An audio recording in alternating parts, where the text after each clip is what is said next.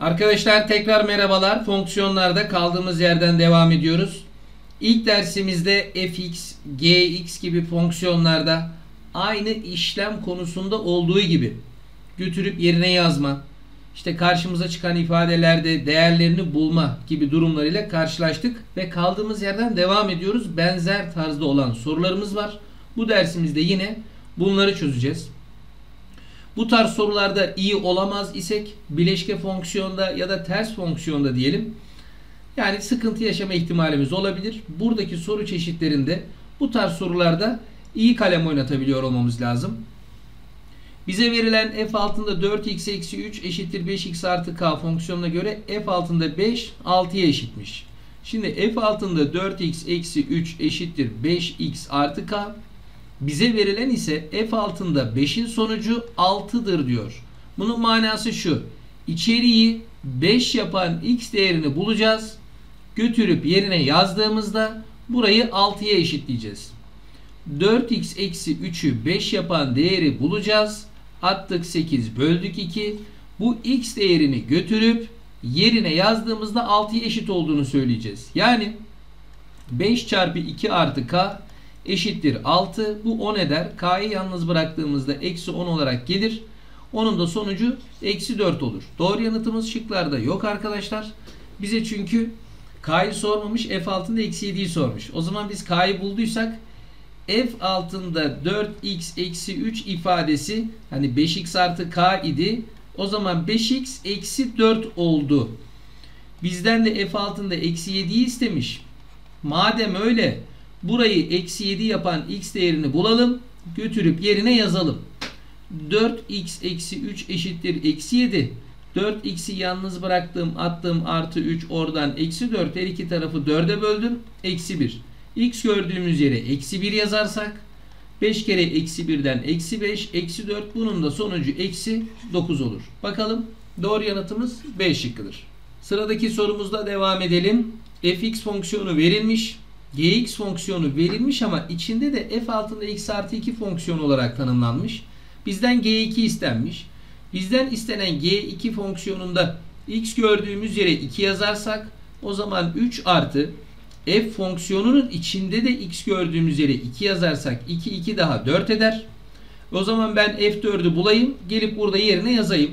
E madem ki bana f4 lazım o zaman x gördüğüm yere 4 yazarsam 2 kere 4 eksi 3 olur sana 8 eksi 3'ten 5. Yani f altında 4'ün sonucu 5'miş. O zaman devam ediyoruz. G altında 2 3 artı f altında 4 yani 5 3, 5 daha 8 eder. Bulduğumuz sonuç zaten cevabımızdır. Doğru yanıt C'dir. Geldik bu soruya. F altında x artı 3, x eksi 4 olarak G altında x artı 1 eşittir 5 artı F altında x artı 2 olarak tanımlanmış. Az önce çözdüğümüz sorunun bir benzeridir. Videoyu durdurun. Önce kendiniz çözmeyi deneyin. Çözemezseniz izleyin arkadaşlar. Ben başlıyorum. Bize G altında 3 sorulmuş. O zaman G fonksiyonunda x gördüğümüz yere 3 yazmayalım bize çünkü g fonksiyonu x artı 1 olarak tanımlanmış. İçeriği 3 yapan değer 2'dir. O zaman x gördüğümüz yere 2 yazalım. Yani eşittir 5 artı f altında x artı 2 x gördüğüm yere 2 2 2 daha 4 eder. Yani benim burada yine ihtiyacım olan şey f altında 4'tür. O zaman gelelim buraya. f altında 4'ün sonucu acaba nedir? x artı 3'ü 4 yapan x değeri 1'dir. Onu da gidelim burada yerine yazalım. O zaman 1 eksi 4'ten bunun sonucu eksi 3'tür. Yani biz f4'ü bulduk.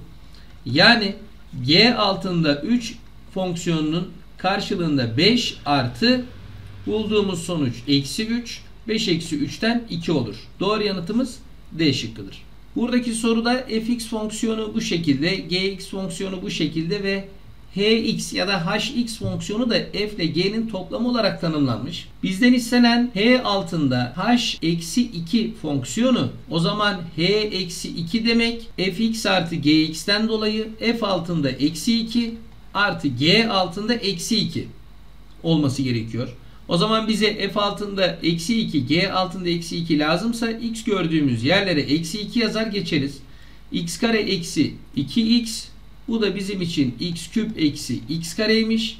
O zaman x gördüğümüz yere eksi 2 yazarsak eksi 2'nin parantez karesi eksi 2 çarpı eksi 2 artı eksi 2'nin kübü eksi eksi 2'nin karesi. Aldım karesini 4 eksi eksi artı 4 aldım kübünü eksi 8 bunun karesi normalde 4 önünde var eksi lerleri götürdü artı 4 eksi 8 bunun sonucu eksi 4 olur arkadaşlar. Doğru yanıtımız B şıkkıdır. Bir parçalı fonksiyonla karşı karşıyayız arkadaşlar. Parçalı fonksiyonun olayı şudur. Biz yine buna benzer soruları işlem konusunda da çözdük. Eğer verecek olduğumuz değer sıfırdan küçükse bu kuralı, sıfıra eşit ya da sıfırdan büyükse bu kuralı uygulayacakmışız. F altında eksi 4. Eksi 4 dediğimiz sıfırdan küçüktür. O zaman uygulamamız gereken eksi x eksi 5.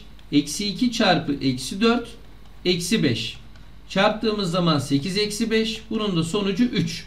O zaman ben buraya yazarım 3. Bana F2 lazım. 2 dediğimiz sıfırdan büyük. O zaman uygulamam gereken kural 3x eksi 4. x gördüğümüz yere o zaman 2 yazarsak 3 kere 2 eksi 4 6 eksi 4'ten 2. O zaman bunun sonucu da 2. Arada var eksi 3'ten 2 çıktı. Sonuç 1'dir arkadaşlar. Yani E şıkkıdır. Geldik bu soruya arkadaşlar. fx eşittir x kare eksi 6x artı 9 olarak tanımlanmış. Bizden f altında x yani kendisi eksi f altında x artı 4'ü bulmamız istenmiş. Şimdi fx fonksiyonu x kare eksi 6x artı 9 ifadesi. E bu bize bir yerden tanıdık geliyor. x'in karesi, 3'ün karesi, bununla bunun çarpımının iki katı. Yani bu ifade x eksi 3'ün parantez karesidir arkadaşlar. O zaman biz fx fonksiyonunu bu şekilde derli toplu yazalım. Yani x eksi 3'ün parantez karesi. Şimdi buraya tekrar gelelim. Şimdi bizden istenen fx eksi f altında x artı 4 ise o zaman biz f altında x artı 4'ü bir bulalım. Yani x gördüğümüz yere x artı 4 yazacağız. X gördüğümüz yere x artı 4 yazacağız. Eksi 3 karesi oldu sana x artı 1'in parantez karesi. Yani işimizi kolaylaştırdık. Şimdi gelelim fx gördüğümüz yere x kare eksi 6x artı 9 eksi f altında x artı 4'ü de x artı 1'in parantez karesi olarak bulduk. Bunun da açılımını yazalım. Birincinin karesi birinci ile ikincinin çarpımının iki katı artı ikincinin karesi. Yazmaya devam edelim. Eksi 6x artı 9 eksiyi paranteze dağıtalım arkadaşlar. Eksi x kare eksi 2x eksi 1. O zaman burada karşımıza ne çıkacak? Artı x kare eksi x kare eksi 6x eksi 2x oldu sana eksi 8x artı 9 eksi 1 oldu sana 8. Yani bu işlemin sonucu 8 eksi 8x'tir. 8 eksi 8x o da D şıkkında vardır. Doğru yanıtımız D şıkkıdır. Evet buradaki sorumuzda fx verilmiş, gx verilmiş. Bizden f altında 6a yani x gördüğün yere 6a yaz deniyor. Eksi g altında a eksi 3 yani x gördüğün yere a eksi 3 yaz deniyor. O zaman yazalım f fonksiyonunda eğer ben x gördüğüm yere 6a yazarsam x gördüğüm yere 6a yazarsam bölü 3 eksi 3 6 3 2 yani 2a eksi 3 o zaman bu benim için 2a eksi 3 oldu. Geldik buraya. G altında x gördüğümüz yere eğer a eksi 3 yazarsak G altında a eksi 3 eşittir 4 çarpı Parantez içerisinde x gördüğümüz yere a eksi 3 yanında var artı 2. Oradan da a eksi 1 dedik. O zaman açtık 4a eksi 4 oldu. E o zaman ben bunu gördüğüm yere de bulduğum sonucu yazacağım. Yani 4a eksi 4 yazacağız. 2a eksi 3 Eksi 4a artı 4 2a eksi 4a'dan eksi 2a oldu. 4 eksi 3'ten 1 oldu. O zaman bu işlemin sonucundan 1 eksi 2a oldu. Doğru yanıtımız C şıkkıdır arkadaşlar. Değerli öğrencilerim bu dersimiz bu soruyla sonlanmıştır. Bir sonraki derste görüşmek üzere. Hoşçakalın.